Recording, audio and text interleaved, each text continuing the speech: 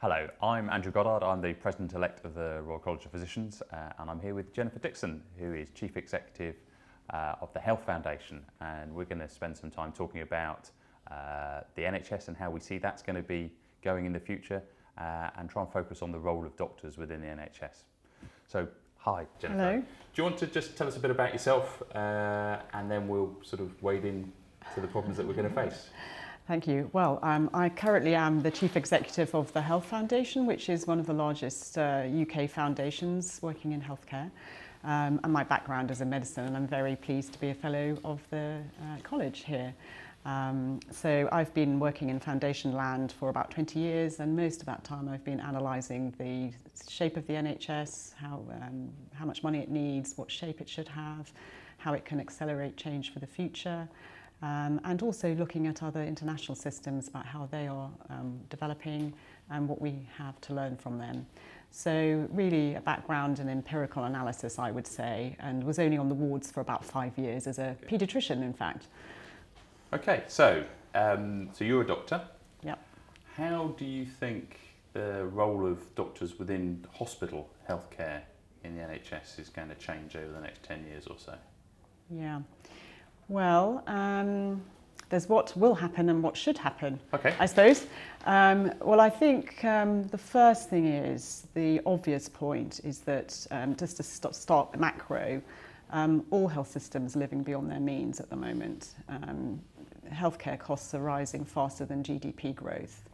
And at the same time, there's more demand on the system, as everybody working in the NHS knows, demand from increased um, um, uh, illnesses, increased uh, risk factors, and also the demands because we all want better technology, we want better drugs and treatments and so on. Uh, and at the moment, as I say, healthcare costs are outstripping by twofold GDP growth. So we, we can't afford the kind of rate of increase, which is um, historically in the NHS has been about 4%, will be 3.4% going forwards, real terms growth. So something has to give there. And I think what we see over the last 20, 30 years is the limits to the reforms of the NHS, the top-down reforms that some of, of people watching this video will absolutely remember. Yeah. You know, the competition, the Lansley reforms, um, payment by re- uh, results, different ways of paying for care, different ways of prodding the system to get more out of it. And um, physicians will have been on the receiving end of some of those things. Um, when I started in uh, practicing, nobody knew who the chief executive of the hospital was, no one knew how things were priced. Now everything has changed. I think most doctors will know what payment by results is, for example, and people know who the chief executive of the NHS is and their hospitals. So I think there's more awareness of this pressure and the need to do more with less and the need to accelerate quality. So I think what we are now going to see in future is a far more focus at the clinical front line on how to make change uh, as well as the top-down approach that everyone has known because we now see the limits of that top-down approach. So what does that mean in practice? I think it means that um, physicians will have to think more and more beyond the treatment of the individual patients and think far more about taking responsibility for the whole service in bigger numbers than they have before. And also skilling up in, um, in, in ways to accelerate change rather than just, importantly though it is, improve the medicine for individual patients. Um, so um, tackling sepsis, tackling the efficiency of care, tackling long, long pathways that duplicate, um, create risks, are unsafe, to make them leaner and sharper and so on, working with patients to reduce waste and uh, improve care, um, using quality improvement techniques, working hand in hand with managers more, and really saying, this is my role as a doc. It is absolutely to take responsibility for the population of patients now and in the future who are likely to need this service and to make things as lean as possible to make the public pound go more. So I think that kind of change in zeitgeist, which is already beginning and is absolutely in evidence in, in some places, particularly in hospitals, is really going to take off a lot more and hopefully aided by technology. Okay, so we'll come on to technology because I think that's that's a, uh, a really interesting area. I think sort of there was a bit of a feeling the morale in amongst the medical profession is pretty low, and a lot of people feel sort of done unto Yeah. and feel helpless. Uh, sort of this this feeling of learned helplessness, or actually, yes, they would like to um, get involved in quality improvement, they would like to improve their service, but either they don't have the time because of they're just on the hamster wheel going faster and faster trying to deliver care because that's what they can do and that's Yeah. where they can feel they're making a difference. Yeah. Uh, but also the systems aren't really in place to facilitate them getting involved and making change. I think there is a group of people who feel they don't have those skills, and so clearly we're going to have to try and help give them the skills to get into quality improvement. But the the pressure on the NHS is Yeah. such at the moment that I, I think people are really struggling with that. So. Uh, and we, you know, so one of the things that we see is all the jobs that are advertised for new consultants, and Yeah. we're seeing increasingly more so-called nine-one jobs, where nine, 90% of the time is down for face-to-face clinical contact, and 10% of the time is there to try and develop yourself and develop the service. But trusts don't seem to recognise the importance of clinicians leading and trying to develop their services. They just want people at the front door delivering the service there and then. How, Yeah. how, how do we change from that Yes. doctors are just there to deliver to doctors are there to lead change? Yes. How are we going to do that? Well, I think there's uh, twofold things. Um, the first is let's start with management. Um, it's absolutely true. If you look at the most outstanding hospitals, five outstanding hospitals in the country that the CQC has rated, you can see a different kind of culture in those hospitals. You see a facilitating management, not a authoritarian management. You see them giving clinicians the space to make time to be able to make changes, to skill up changes, an absolute emphasis on quality, not money. Um, and this is suffused down the system.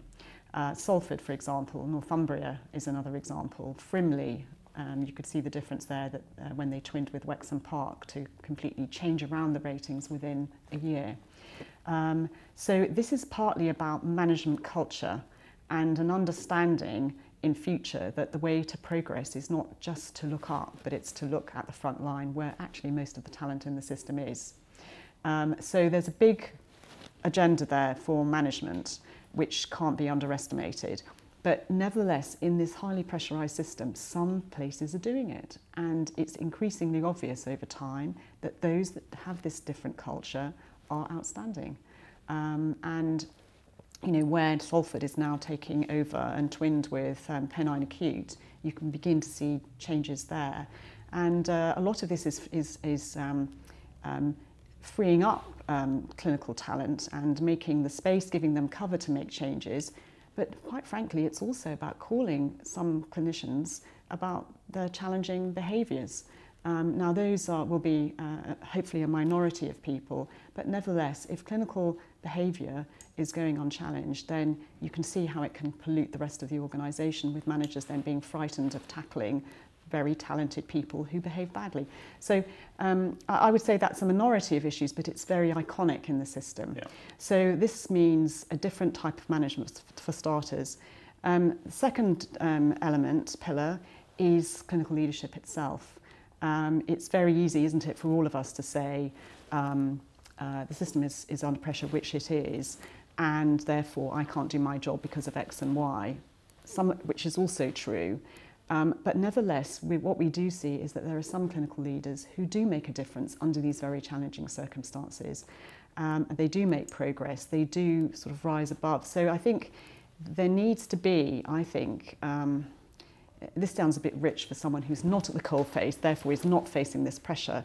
But from outside, what I can see is there is a real need for clinicians to really step up and say, this next era is going to be different for us. We are going to take some more control than we have.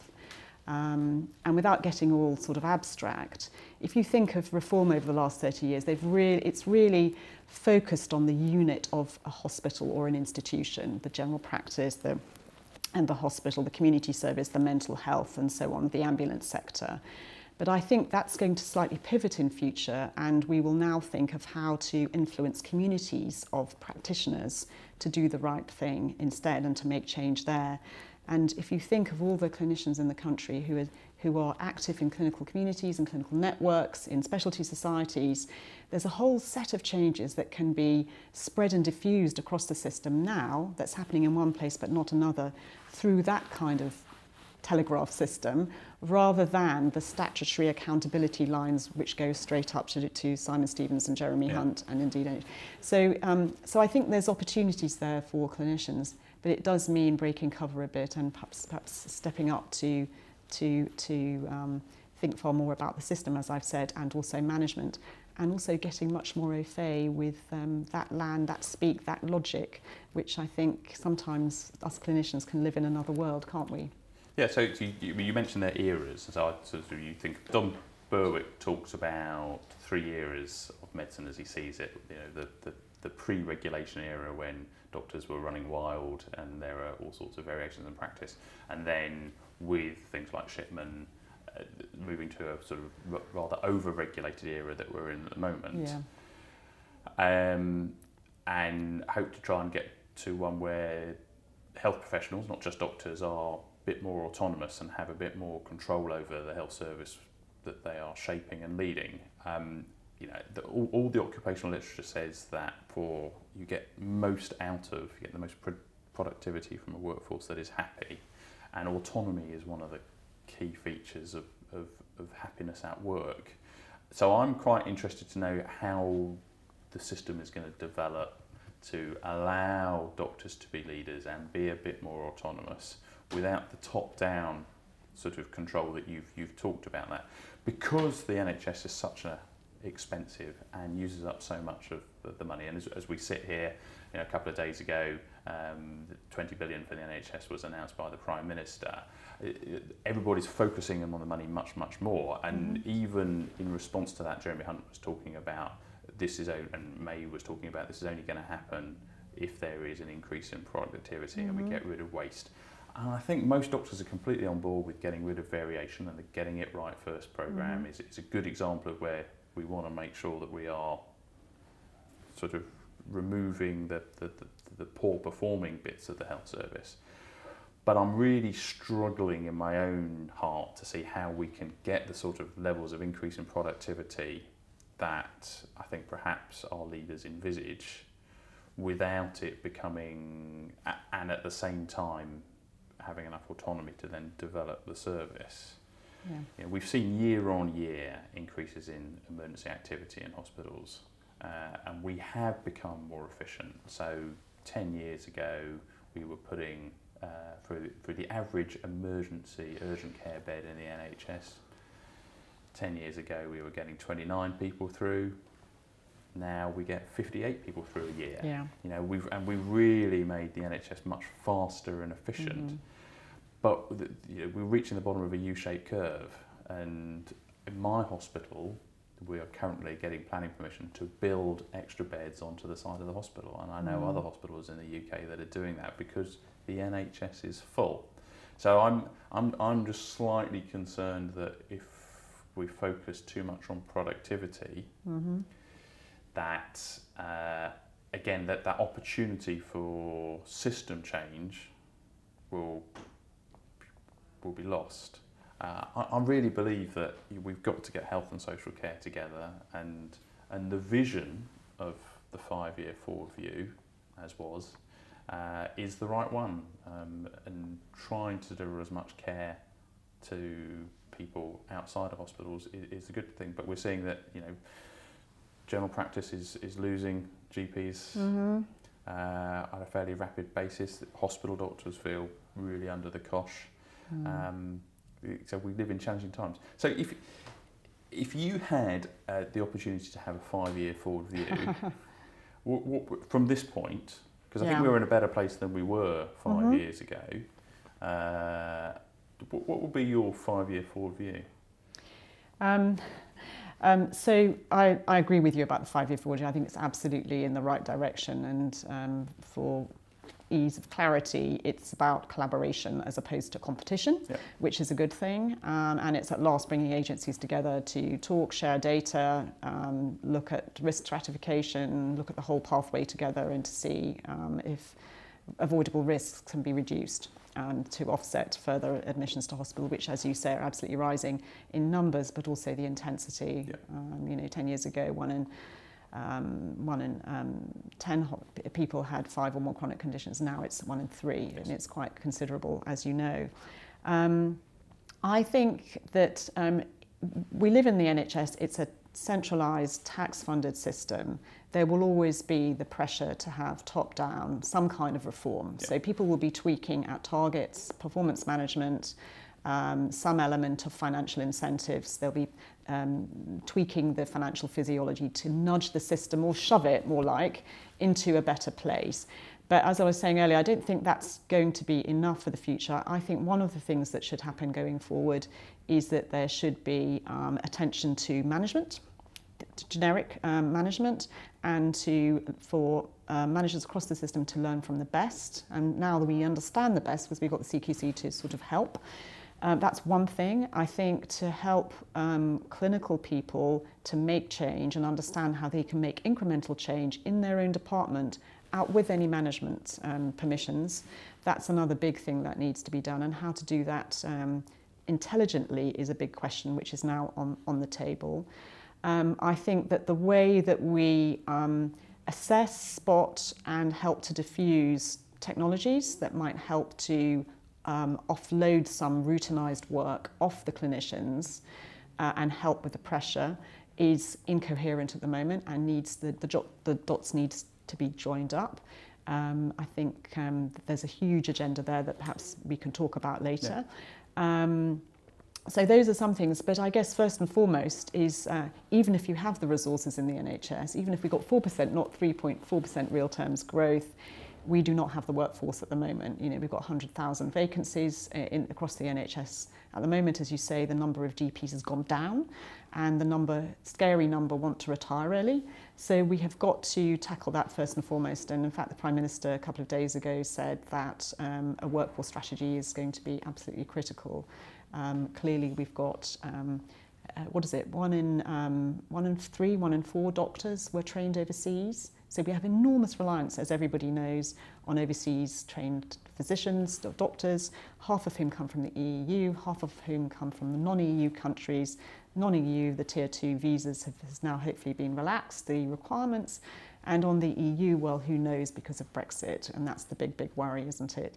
So a, a proper workforce plan would help, a strategy, but absolutely immediate terms um, to tackle retention for nurses in particular and uh, general practice. Those are first in line. Yeah.